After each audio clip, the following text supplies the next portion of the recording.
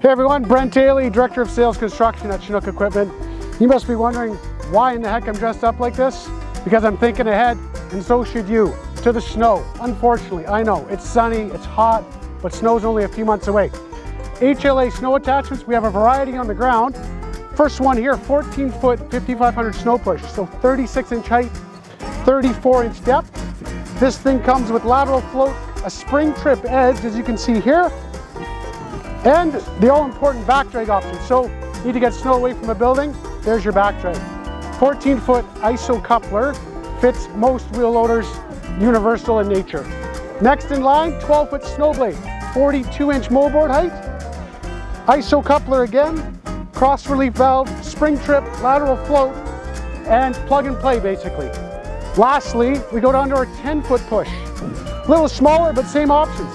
We go 10, 12, 14 pushes, 12 foot blades. Stop by Chinook before the snow hits. I'm gonna go chase a snowstorm. See ya.